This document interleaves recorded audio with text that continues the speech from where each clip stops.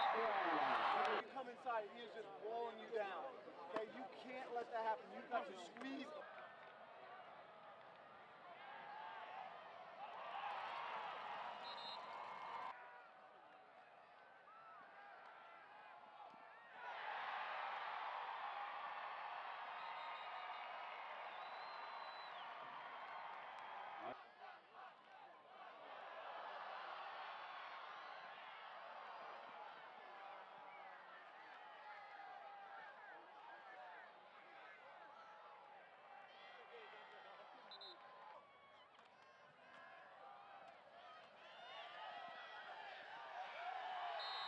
Touchdown, number 23, Blake Ray.